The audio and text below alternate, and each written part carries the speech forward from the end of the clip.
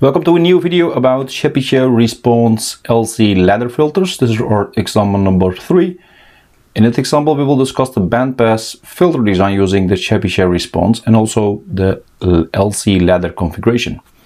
Of course we will work out our calculation step by step and also verify these in SPICE simulations. So let's look at our example. We have the objective, design a Chebyshev response, passive LC ladder, bandpass filter and use 50 ohm double terminated shunt input. Let's see first this generalized filter block. This generalized filter block will be the bandpass filter we need to design.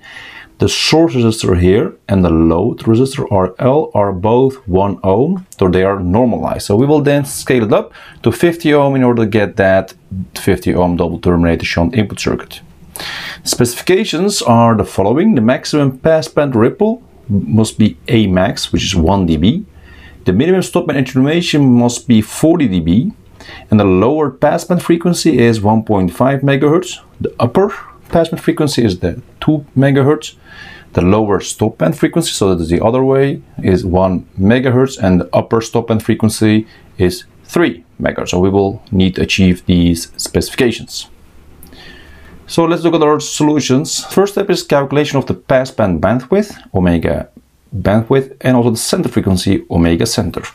Now for our specifications, you, we know that the omega ph and omega pl, which is actually given in the frequencies, hertz, so we need to just transform that. That's just the difference between the upper and the lower passband frequency.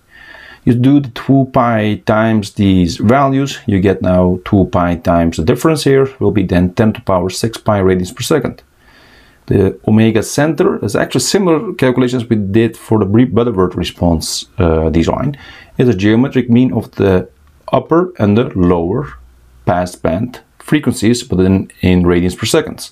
So you take the square root of that one, and then you will calculate this, and you get then 10.88 megaradians per second or million radians per second. Step two is the normalized passband frequency, omega, the capital letter omega p, and also the normalized stopband frequency of the prototype low pass filter because we continue with the low pass filter design and then transform our low pass circuit into a band pass filter circuit. First, the capital letter omega p, that is the difference between the passband, upper passband and the lower passband frequencies divided by the bandwidth. That is always 1 by the way, so this is just a formality here. And the omega s, which is the normalized stopband frequency, is the difference between upper and the lower stopband frequency divided by again the bandwidth, and in this case 4.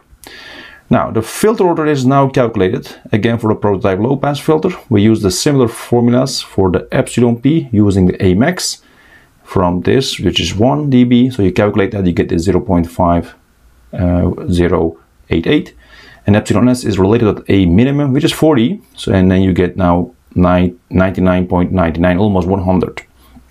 Now, together, you will now calculate this using this formula for the Chebyshev response and that will give you arc cosine uh, hyperbolicus and then the epsilon s and epsilon p and also here 4 over 1 now we'll get 2.8951 of course we need to use integer values so you can try to do this design using a second order filter but that is definitely not sufficient.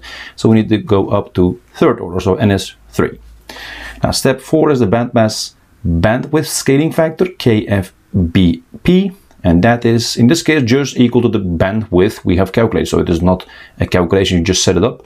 That's then 10 to the power 6 pi radians per second.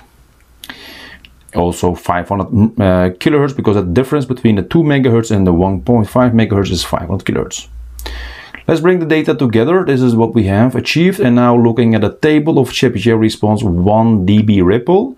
This is uh, the these are the coefficients for the normalized uh, values but then for low pass filter, as said before, we need to transform the low pass filter to the band pass filter circuit.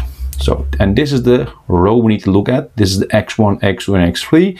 And those are actually the uh, element values here. This is the low pass prototype circuit. You see the C1 that has a normalized value of 2.2036 farads. The L2 has a 0.9941 henries and also the C3 has the value of 2. 0.0236 farads. Of course, these are not really practical in most cases, so we need to scale it up and then get these specifications. So first, what is a transformation from a low pass to band pass? Now, we replace all the capacitors into a capacitor and a parallel uh, combinations of inductor and capacitor. You see that actually here. So between node A and B, you have a capacitor. Now you have a capacitor and an inductor in parallel. And all the inductors will be replaced by a series combination of an inductor and a capacitor. That's actually shown here. The P is actually for parallel and S is for series.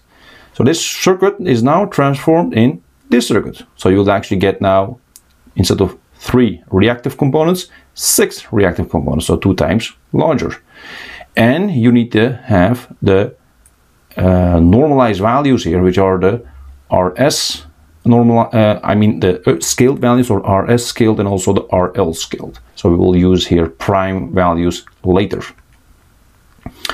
That's actually what you see here. So you see now the primes here. So these are the scaled values. Okay now moving on to the calculations. These are the formulas for calculating the CP1 using the coefficient here and also the Km, which is 50 here. Why? Because we need to scale it up from 1 ohm to 50 ohm. So that's actually automatically Km.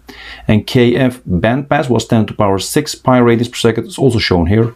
So everything is known, also from the table. Now we can calculate this uh, 12.89 12 uh, nanofarads.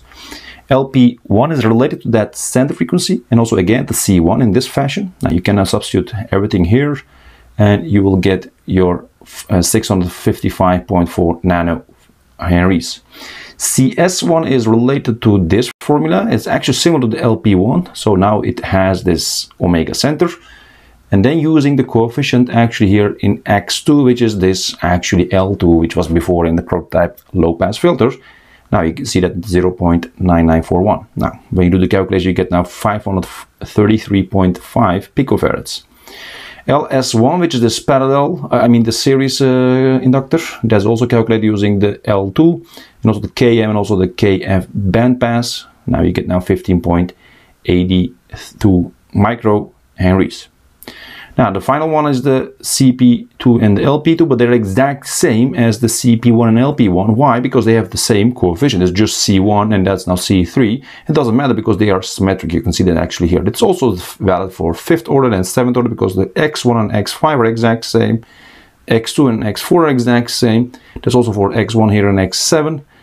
So you can actually see that there are there's a nice symmetry. And then the LP2 is also given here is exact same as LP1. Also RS pr uh, prime, so uh, this value here is scaled up to 50 times, so 50 times this one, so it will be 50 ohm, and RL prime will be then also 50 ohm. Now we have the component values. Let's summarize them here. So we have now our eight component values here, and the design circuit will be done here. This is now again this prototype low pass filter, which is unscaled, normalized.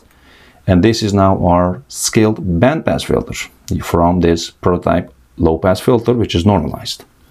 So you'll use this circuit and see if this is really uh, according to the specifications we have here.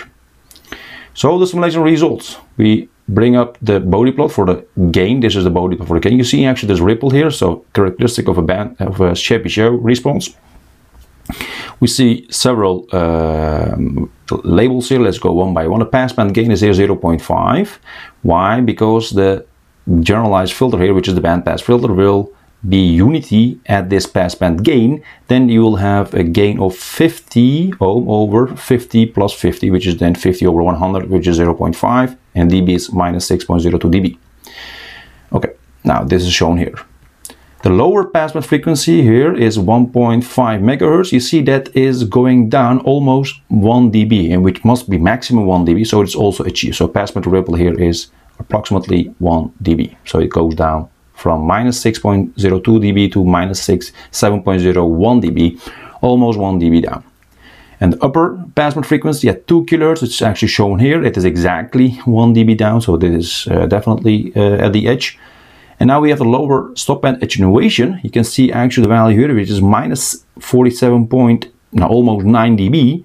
And then the difference between this gain and the passband gain is actually our attenuation and that's shown here is 41.88 which is at 1 megahertz but we needed at least 40 so that is in this label also achieved so which is then also shown here for the upper one that's actually shown here and now we can see that this here is minus 47.91 and also going down at least 41.89 dB which is at least 40 dB so also according to the specifications. But you also see the center frequency is given here 1.7314 megahertz. Now that's what's happening at this passband gain so we can say all the specifications are met and this circuit will do the job for this design. Alright guys, this is our example number 3 considering the Chebyshev response for this bandpass filter using the LC ladder configuration. If you have any questions, comments about this example, please let me know and I will try to answer them as soon as possible. In the next video we will discuss also the stop band, band stop, I mean uh, variation of the Chebyshev response and continue with other LC ladder filter types. See you next time in another video. Take care.